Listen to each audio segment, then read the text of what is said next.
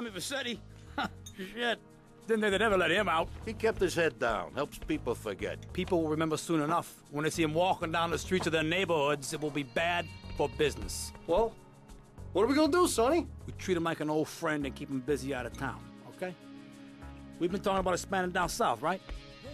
Vice City is 24 karat gold these days. The Colombians, the Mexicans, hell, even those Cuban refugees are cutting themselves a piece of some nice action.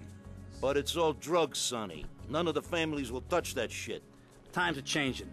The families can't keep their backs turned while our enemies reap the rewards. So, we send someone down to do the dirty work for us and cut ourselves a nice, quiet slice, okay? Who's our contact down there? Ken Rosenberg, schmuck of a lawyer. How's he gonna hold Vercetti's leash? We don't need him to. We just set him loose in Vice City. We give him a little cash to get started, okay? Give it a few months. Then we go down. Pay him a little visit, right? See how he's doing.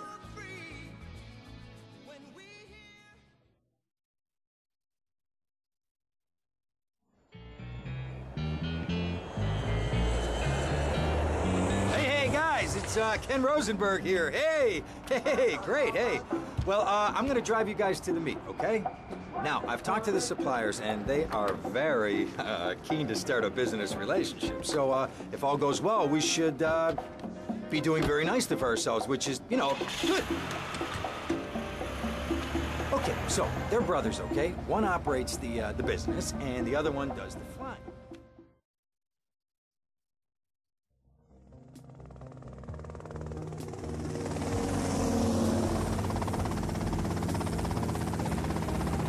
Okay, that's them in the chopper. All right, here's the deal. They want a straight exchange on open ground. All right? Okay, stay tight. Let's go.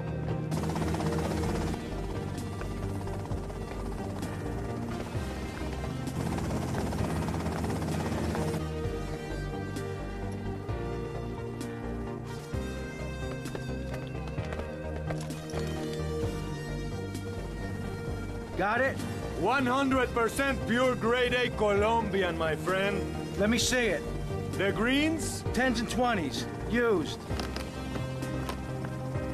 I think we have a deal, my friend. Oh, shit!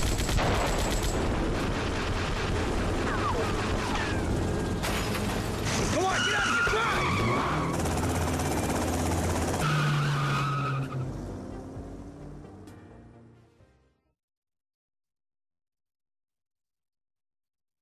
I poked my head out of the gutter for one freaking shit in my face.